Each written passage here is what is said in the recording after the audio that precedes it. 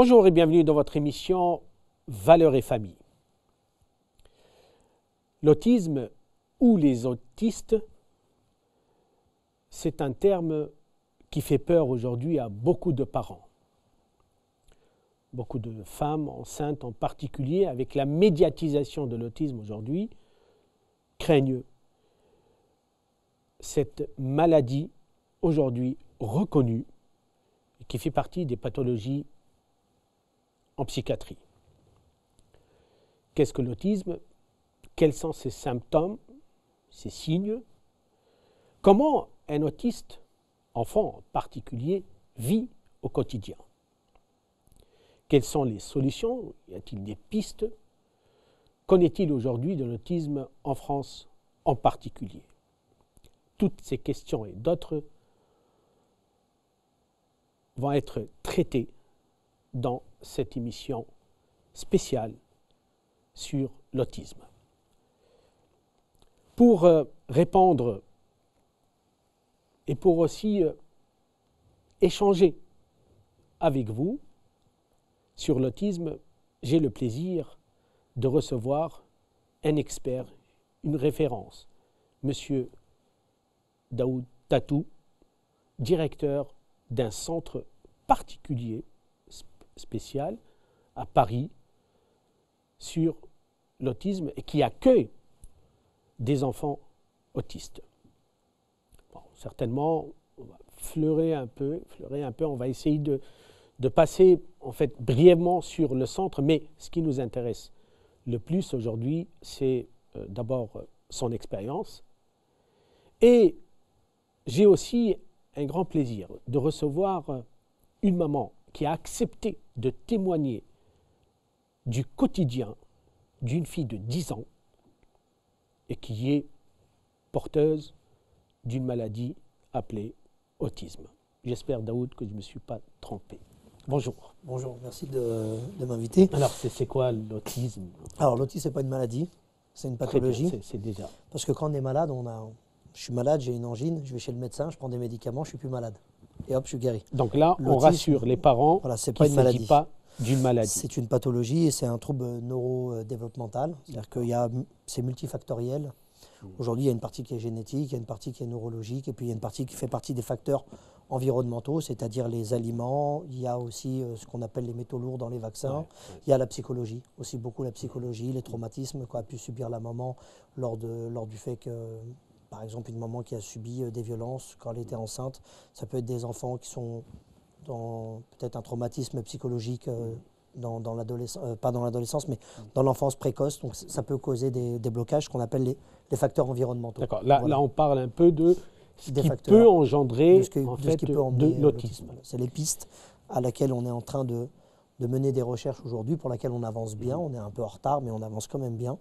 Donc c'est multifactoriel. Mhm. Par exemple, c'est pas comme la trisomie 21 où on a identifié un gène et on sait que c'est la trisomie et c'est ce, gène-là qui gène là. Il y a énormément de, de, points qui fait que euh, l'enfant peut être autiste et on est en train de travailler dessus. Mhm. Donc euh, au niveau recherche, analyse professionnelle, aujourd'hui on peut dire que l'autisme c'est en voie de euh, recherche. C'est en voie de recherche, on est encore en train de, comprendre des explications pour certainement prévenir. Exactement. Mais euh, au-delà, en fait, du côté scientifique, neurologique, psychiatrie, euh, vous avez quand même une longue expérience avec les autistes. Oui, ça fait un petit moment que je suis En fait, aujourd'hui, lorsque vous rencontrez un enfant autiste ou un adulte autiste, puisque ça existe aussi mhm. des adultes en fait autistes, euh, quelle est la première des choses que vous vous dites à vous-même? Moi, en fait, je me dis rien. La première des choses que je fais avec euh, un enfant ou euh, un ado et un adulte autiste, c'est que j'essaye de trouver la porte avec laquelle je vais communiquer avec lui. Ça, je me dis pas, il est gentil, il n'est pas gentil, il est comme ça ou il n'est pas comme ça. Ce qui m'intéresse, c'est quelle est la porte qu'on peut créer ensemble pour que je puisse rentrer moi dans son cerveau et lui dans le mien pour qu'on puisse travailler. Pourquoi il y a un problème de communication ben, Il y a un problème. Le, le, le problème principal de l'autisme, ça veut dire replier sur soi. Hein. Euh, l'une des, l'un des symptômes ou des signes des enfants ou, ados ou adultes autistes, c'est la déficience de communication et de l'altération sociale avec les autres. Les autistes ne communiquent pas comme nous, on est en train de parler là. Mhm. Ce sont des gens qui sont. Alors, soit vous avez des autistes de très haut niveau, qui vont vous parler de ce qu'ils aiment, par exemple de, de neurologie ou de. de Ce qu'on appelle de les génies aujourd'hui. Voilà, des autistes, de, de, Mhm. de voitures ou ce genre de choses. Et ils vont en parler tout le temps, Ouais. dans n'importe quelle configuration, que ce soit dans un restaurant, dans un décès, dans un deuil, dans un anniversaire. Ils vont parler que de ça, donc ce qu'on appelle des Ils activités. sont dans la réalité donc. Ils sont dans la réalité, dans leur on parle, réalité. on parle d'une catégorie des Voilà. autistes qui, eux, ils ont développé une intelligence surhumaine, disons, si, si- si j'ose euh, utiliser On ce va dire qu'ils ont développé une faculté qui, est ce qu'on appelle nous une activité restreinte. En l'occurrence, ça pourrait être les voitures, l'astrologie ou ce genre de choses. Ah oui, d'accord, ils ont une fixation sur Voilà, un- et ils vont, ils vont y passer du temps à discuter de ça. D'accord. La chose qui fait que c'est une problématique, c'est qu'ils vont parler de ça à n'importe qui, n'importe quand, dans n'importe quel contexte. Exemple, on pourrait avoir un décès et avoir un enfant autiste qui vous parlerait de, euh, de, de- de- de neurologie ou de voiture ou d'activités restreintes que lui, il aime dans un contexte de décès. Donc on voit bien que c'est il y a pas une moment. fixation sur Voilà. un objet. Ça, c'est pas la sur- majorité des autistes. Pa- Après, Pardon, euh, Mhm. euh, Monsieur Daoud, peut-être je, je vais profiter pour m'adresser à Madame Samira. Bonjour. Merci d'avoir euh, d'avoir accepté notre invitation. Je sais que c'est pas facile, mais merci pour votre témoignage. Je vous en prie. Euh, là, on est en train de parler euh, d'un- d'une catégorie des autistes. Euh, est-ce que vous pouvez nous parler de votre fille et est-ce que elle, est dans cette catégorie des personnes, des enfants qui ont une fixation sur un objet, qui le répètent, le répètent Voilà. Oui, donc comme vous disiez, elle a 10 ans et en effet, il y a des moments où elle s'attache à quelque chose. Ça peut être un dessin animé, ça peut être des livres, ça peut être des jouets, ça peut être une marque. Et euh, du coup, elle ne pense qu'à ça. Elle ne parle que de ça pendant des mois et des mois. Et c'est par saison. Ça peut durer 3-4 mois et ensuite, il passe à autre chose. Là, en Oui. ce moment, c'est les livres et euh, les journaux intimes en particulier. Donc, elle en a plusieurs et elle écrit sur plusieurs journaux intimes. Et d'ici 3 ou 4 mois, ce sera autre chose. D'accord. Donc, vous confirmez qu'effectivement, Oui, vous- exactement. en fait, elle Ce fait qu'il partie dit, de oui, oui, ces, ces- ces Mm. catégories. Euh, Comment, comment vous vivez cette, euh, cette fixation, comment vous vivez cette répétition du même sujet sur un même objet? Comment vous le vivez? Là, c'est des livres, donc elle veut les prendre partout. Qu'elles sortent, qu'elles soient à l'intérieur, ça la rassure. Le fait de les avoir, même quand elle mange, elle veut avoir son livre près d'elle, mais c'est pas possible. Quand on est à table, on ne peut pas avoir de livre. Donc euh, ça dépend de si on sort, où est-ce qu'on va, Ouais. de l'activité qu'on va faire. Si on va dans un centre commercial et qu'elle prend ses livres, et elle est même au centre commercial, elle ne peut pas les avoir. Donc à ce moment-là, on interdit et ça peut provoquer une crise après. Ah, d'accord. Lorsque vous intervenez sur ce qu'elle aime, là, c'est la crise. Ça peut, ouais, ça peut engendrer une crise. Mm. Quand on arrive au centre commercial et qu'on vient avec un livre, le monsieur de la sécurité automatiquement met le livre dans un sachet plastique et elle ne peut pas l'ouvrir, elle ne peut pas s'en servir. Et ça, ça peut déclencher une crise. D'accord. Et tout le mais- monde ne le comprend pas. Ah, Voilà, c'est en fait le problème il est là aussi. C'est que par rapport à vous en tant que maman, euh, en fait, et avec ses parents, peut-être on a compris, hein, peut-être on a compris que oui, il lui faut le livre, mais à l'extérieur, Il y a des règles. Voilà. Il y a des règles qu'on En fait, il y a des règles. En fait, euh, ça Ouais. sera difficile pour elle, en Ouais, fait. c'est plus compliqué pour elle. ouais. D'accord. Ses intérêts restreints, quand c'est à l'extérieur, c'est plus compliqué euh, de- Mm. d'accepter. Monsieur Daoud, vous pensez quoi de cette situation? Non, enfin, pour nous, c'est une situation classique. C'est-à-dire que le, le- problème qu'on a, c'est qu'on a une fille qui, euh, pour l'instant, euh, est dans les livres.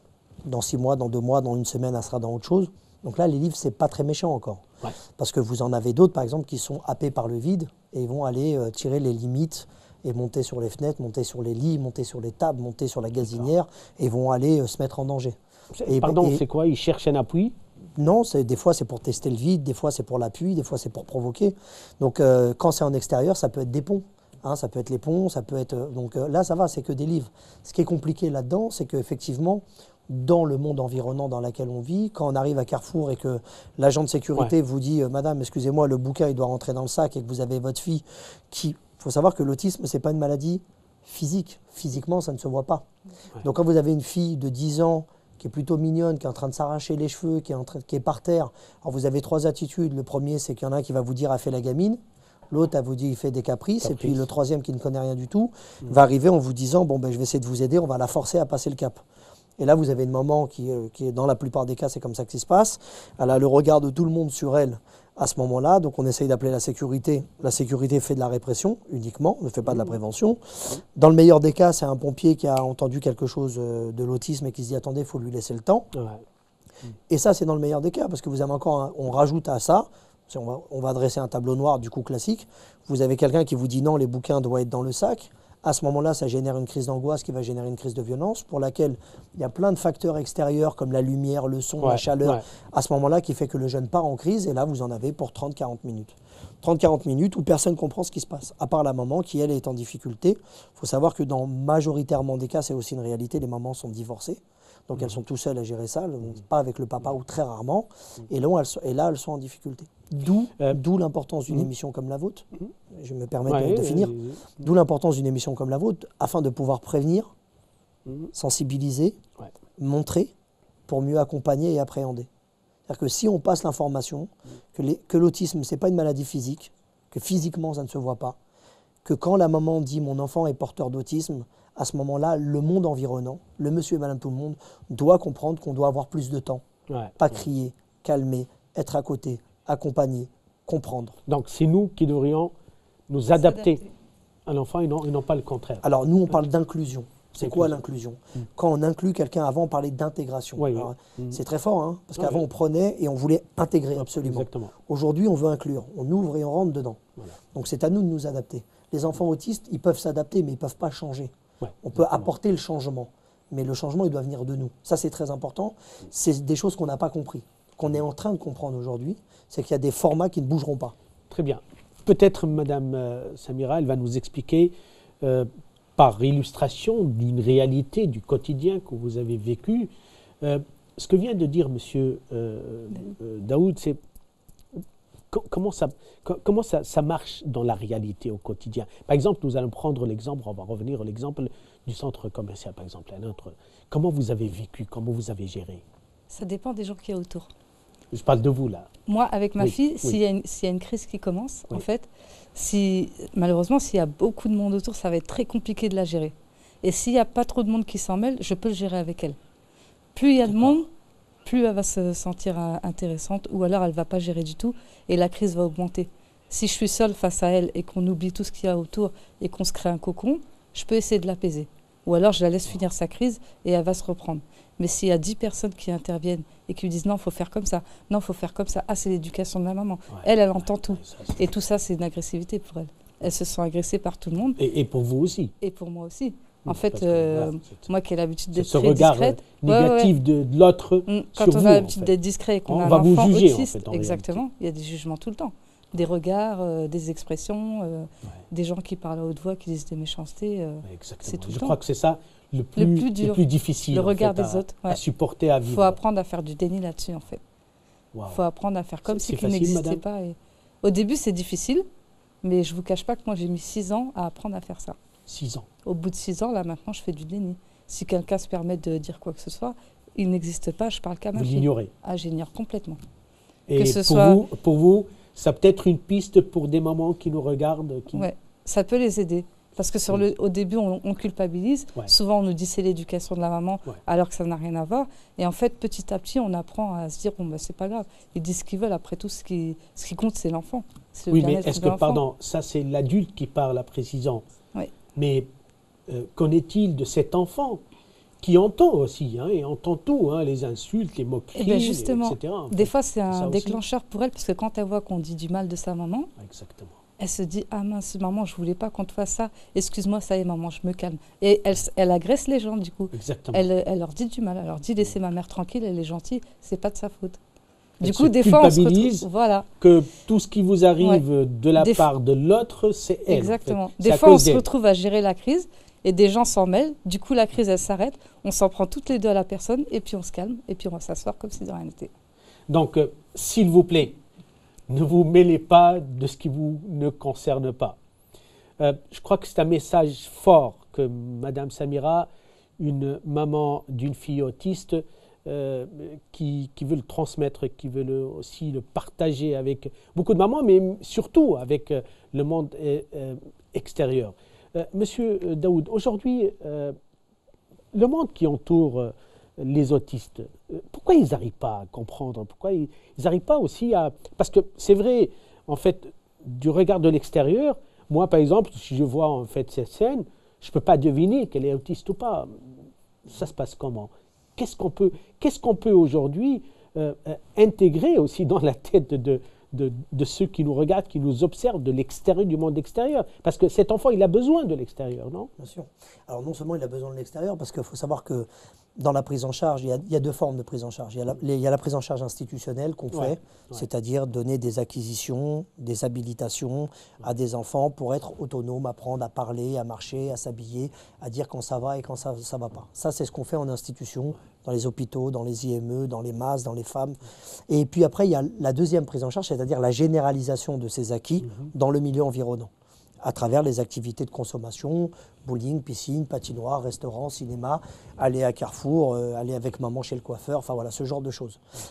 À la question de euh, pourquoi aujourd'hui on n'arrive pas à, à intégrer ou à inclure ces personnes en situation d'autisme, c'est parce que la sensibilisation et la formation n'est pas faite. Ouais. Si aujourd'hui on a un, un vrai plan de formation et de sensibilisation et qu'on comprend que dès l'école, dès l'école, on doit être en capacité d'apprendre par exemple la langue des signes français à des enfants pour des malentendants, des sourds et muets, parce qu'en plus c'est éducatif, sûr, ludique et pédagogique, et c'est super marrant, c'est une très belle langue.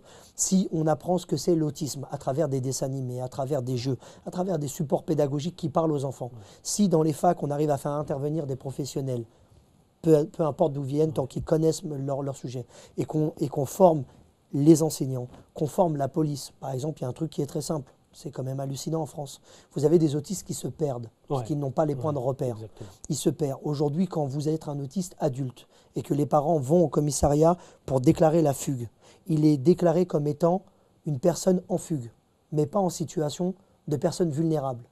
Ça veut dire que Personne en Euh, situation de danger, surtout. en danger vulnérable, ça ne concerne que les mineurs dans la loi. Il faudrait qu'on puisse déclarer ces personnes adultes au même titre que les enfants, parce que ce sont des personnes vulnérables.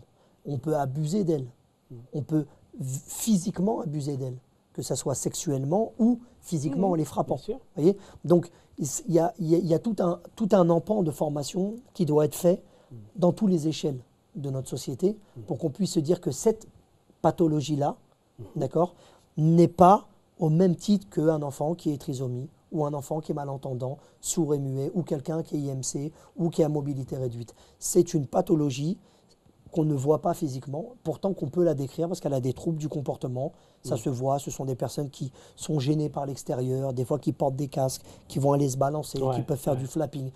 Quand on est connaisseur, on repère tout de suite quelqu'un qui est Ouais, en difficulté. exactement. Après, il y a difficulté et difficulté. Quand on voit quelqu'un qui, euh, qui, est, euh, qui a des troubles du comportement dans la rue parce qu'il est violent, il a envie d'être agressif, là, il y a la police qui fait son travail. Mais euh, les personnes en situation d'autisme, pour la plupart, ne sont pas violents tant qu'on ne les embête pas. C'est-à-dire qu'à partir du moment Bah, où, on va, où on va les chercher, effectivement, ils peuvent être excessivement Merci, violents. merci pour cette transition. Elle est- elle est- je, je te remercie. En fait, madame, là, monsieur Daoudi parle de la violence. Qu'en est-il par rapport à votre vie? On le vit quotidiennement. Ça veut dire C'est-à-dire que des fois, ça peut être juste pincé, et Ouais. des fois, ça peut être euh, au niveau de, de la fratrie, ou euh, à l'école, ou euh, que ce soit à l'extérieur, dans un Votre parc. fille, elle est scola- scolarisée? Ah oui, elle est scolarisée, oui. D'accord. Et elle peut être très violente. Pourquoi? On ne sait pas. Par exemple, elle est à la maison, elle a un Mhm. jouet, sa Mhm. petite sœur lui prend son jouet. Mhm. Pour elle, c'est son jouet, elle l'a agressé, donc elle va la frapper. Et frapper, c'est tirer les cheveux, mettre un coup de poing, mordre. Ça peut être mordre à sang, Mm. ça peut être euh, faire une prise de, de catch. C'est pour ça qu'on évite de regarder les émissions de catch ou de boxe parce qu'elle est reproduite euh, dans la vie réelle. D'accord. Ça peut être faire un croche-pied, c'est extrêmement agressif. D'accord. Donc, vous constatez qu'il y a une violence extrême en elle, à l'intérieur d'elle, qu'elle déverse sur Ouais. L'autre lorsqu'elle est malentendue. Mais est-ce que C'est de la frustration en fait. C'est la frustration qui engendre l'agressivité. Mais le, le- le problème, c'est que tout être humain ne peut pas vivre sans frustration. En fait, on est, on est au quotidien. Ouais. Et eux, ils- eux, en fait, quand ils ont fait. une personne en face d'eux, Ouais. ils imaginent déjà la scène que la personne va leur faire du mal. Donc avant d'avoir du mal, ils font du mal à la personne. C'est très compliqué à comprendre. Mais c'est ça en fait. Vous pouvez répéter parce que moi, j'ai pas compris. Je disais, quand elle a une personne en face d'elle, Ouais. elle imagine une situation, elle crée une situation qui n'existe pas, une situation d'angoisse. Par exemple, si elle a son livre dans les mains Oui, et vous êtes en face d'elle, Ouais. elle peut imaginer que vous allez lui prendre son livre et donc elle va vous mordre ou vous taper et nous on ne comprendra pas pourquoi elle aura fait ça. Et après, une fois que tout ça s'est passé, qu'elle s'est excusée et qu'on la prend de côté et qu'on essaie de comprendre, elle nous dit voilà pourquoi j'ai fait ça. Elle exprime, elle, Elle, dit. exprime, elle exprime tout. Donc est- c'est une enfant de 10 ans atteinte d'une pathologie de l'autisme mais qui parle. Oui, alors en fait, c'est la aussi. psychologie cognitive qui a fait que maintenant elle a des émotions et qu'elle exprime ses émotions. Mais avant, elle n'en avait pas. L'empathie, elle n'en avait pas. C'est la psychologue cognitive qui a fait que maintenant, elle arrive à exprimer ses émotions et qu'elle arrive à, à avoir de l'empathie, à comprendre qu'elle a fait du mal. D'accord. Donc il y a moins de violence. Ça dépend des périodes. Hmm. Ça dépend des périodes. Mais plus elle grandit et plus la violence est extrême. Pardon. Ils auraient une là, force là, vous êtes là, par vous- 10. Excusez-moi, là vous êtes là en tant que témoin. Euh, comment, comment vous, vous gérez la- sa, sa violence en tant que maman? En tant que maman, Vous, oui. J'ai dû faire des formations. J'ai appris à gérer les crises en apprenant une formation pour la maintenir au sol. A- Qu'est-ce que vous avez appris pour, C'est pour- pour- pour c'est des personnes, ces mamans c'est qui, des qui- personnes qui- qui ont appris une formation euh, en Amérique et qui sont venues à la maison. Et, qui, et ces deux personnes qui, ont, qui, nous ont, qui m'ont appris les techniques qu'il faut faire à deux personnes, parce que normalement c'est un couple qui s'occupe d'un enfant. Et comme je suis seule, j'ai dû apprendre les techniques toute seule. Donc c'est des, des techniques pour maintenir au sol les jambes, les bras et la tête. C'est contenir contenir la violence de pour éviter qu'elle se violente et qu'elle me violente en même temps. Donc c'est une crise qui est très compliquée. Non, c'est très dur. C'est très dur. Au début, je me suis dit, je vais jamais y arriver. et après, tout doucement, à force, euh, j'ai fini par y arriver. Donc vous avez beaucoup appris de votre fille. Énormément. Elle vous a appris Mm. quoi? Elle m'a appris à, à comprendre en fait les autistes. Elle m'a appris à apprendre à être complice avec eux. Ouais. Avant, si je voyais une personne autiste, déjà, je ne savais même pas que ça existait. C'est elle qui m'a appris tout ça. Euh, Encore cet après-midi, j'étais avec une adulte autiste de 27 ans. pardon, Euh, ce matin, pardon. Oui. euh, J'étais avec une adulte autiste de 27 ans et elle me regardait, elle souriait. Alors qu'en général, ils sont fermés. Ouais. Mais elle a compris que je connaissais et que j'avais une enfant et du coup, c'était plus, plus agréable. D'accord. Donc notre peur et notre méconnaissance euh, peuvent faire peur à ces personnes, Ouais, à Ils ces ressentent enfants. tout de suite. Ouais, c'est ça. Ils ressentent, quand ils voient la personne, ils savent si elle est bien pour eux ou pas. Wow. Et si elle n'est pas bien, ils font tout pour que la personne parte. C'est ça. Ouais. Ouais, ça, c'est une Mm. clé. Mm. Monsieur Tatou, euh, Ouais. non, parce que là, là c'est vrai, c'est une vraie clé. C'est que ils Mhm. ont un ressenti peut-être plus développé, qu'on peut le croire, et c'est selon la personne qui est en face d'eux qui vont s'adapter, qui Là, vont ça- se comporter. Là, ça dépend parce que Au niveau de ressenti, je parle. oui. Alors c'est pas pa- valable pardon, pour tout le pardon, monde. non, Mhm. parce que je vais, euh, je vais, je- je vais te dire exactement ce qui m'est arrivé Mhm. la première fois où Ouais. m'avait intégré dans l'autisme. Mhm. Je me rappelle très bien, j'avais la trouille, j'avais très peur. Et vous avez fait exprès pour vraiment m'apprendre une chose, c'est qu'il ne faut jamais avoir peur de ces personnes. Non, c'est sûr que les jeunes, ils, ils le sentent. Alors là, du coup, pour, pour, pour la fille de madame, c'est c'est un cas parmi un Oui, cas bien parmi sûr, bien 100, parce qu'il faut savoir qu'il y a autant de cas qu'il y a d'autisme. Ouais. C'est-à-dire que autant euh, sa fille, elle est en capacité de comprendre que quelqu'un a peur d'elle Ouais. et comment elle peut en jouer, autant d'autres enfants sont beaucoup plus en difficulté Ouais. pour comprendre ça et ils ne le repèrent pas. C'est pour ça qu'il y a autant de cas et c'est pour ça que le monde de l'autisme est un, est un monde fascinant et c'est un monde de, de- des autismes. des autistes et Voilà. c'est un monde de recherche parce qu'il n'y a pas un cas de figure. Ouais. Par contre, le, le- le tronc commun à ça, c'est qu'effectivement, ils sont hypersensibles Ouais, aux voilà, émotions, euh, contrairement à ce qu'on aurait pu dire avant, où c'était des gens qui n'avaient pas d'émotions, ils n'étaient pas Ouais, dans la dépression, ils ne pouvaient pas aimer ceci, cela. On en, on en est revenu, on, en est, on, est- on est sorti de, de ce schéma de pensée, et heureusement d'ailleurs. C'est vrai que nous, les autistes que nous accueillons, s'ils sentent que la personne en face d'elle a peur, la personne est mal, parce qu'elle va jouer avec. Euh, donc c'est vrai que ce qu'il faut marquer au début, c'est pas une autorité, mais c'est marquer une assurance, une confiance en soi. C'est ça. C'est compliqué quand on est maman. C'est Ouais. compliqué quand on est maman. Enfin, moi, je vous salue vraiment. J'ai un, un profond respect pour, euh, pour, Ouais. pour- pour la personne que vous êtes parce que gérer sa fille en crise par terre, c'est Ouais. d'abord sa fille qu'on gère. Moi, quand je gère une crise, je gère une personne en situation d'autisme. J'ai de l'empathie, bien évidemment, parce que ça ne me fait pas plaisir que d'être sur quelqu'un et de le contenir. Mais quand c'est votre enfant, il y a le sentiment d'une mère qui se mêle à ça. Et ça, c'est c'est- pas la même chose. Moi, quand je gère une crise à l'extérieur et que les gens me regardent, bon, j'ai l'habitude de me regarder. Les gens me regardent déjà parce que je suis petit et gros avec une barbe. Donc, euh, ça me dérange pas trop.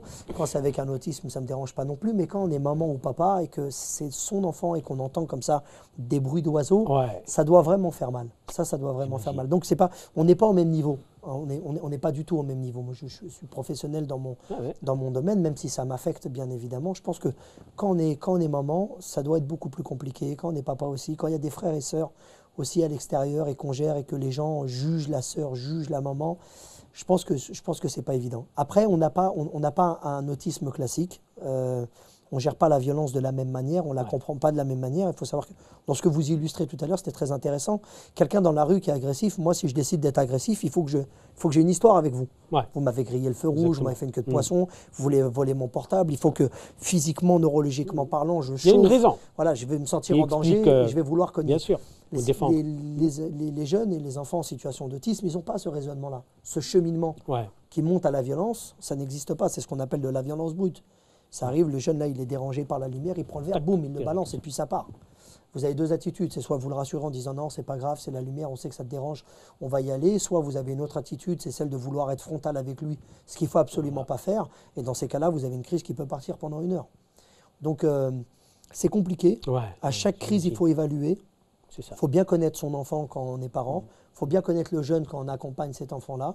Il faut savoir ce qui le gêne. Il n'y a pas forcément que des... euh, il y a des problèmes de son, de, de Ouais, ton, de voix. Mmh, mmh. Il y a des problèmes de contenance quand on tient. Il ne faut pas trop serrer. Des fois, il faut serrer très fort. Ouais. Il, y a, il y a des problèmes d'odeur. Ça paraît bête, mais des fois, il y a des problèmes de couleur. Par exemple, il y a des autistes. euh, Ouais. Le rose de madame peut, peut gêner. Le noir peut gêner. euh, ouais, il, y a, il y a- il y a- un certain nombre de choses. il y a une hypersensibilité. Il y a une hypo et une hyper. Voilà. Hein, on a, c'est- là où je vous dis que l'autisme est très intéressant, c'est c'est que vrai. Elle est vraiment multifactorielle. Ouais. Vous avez des cas où on peut ramener 10 autistes ici qui seront différents.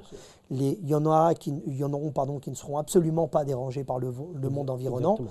Et sur les 10, il y en aura peut-être 5 qui seront dérangés par des choses complètement différentes. Oui, oui. Ça peut être la température, ça peut être les vêtements. ça- Ce qui est très intéressant, c'est qu'il faut qu'on puisse euh, prendre en ligne de compte que ces gens-là sont des personnes humaines, qu'elles sont Ouais. qu'elles font partie du monde, de notre monde, euh, qu'elles doivent, comme tout le monde, être intégrées au même titre que les autres, être inclus au même titre que les autres, et que c'est notre regard qui doit changer.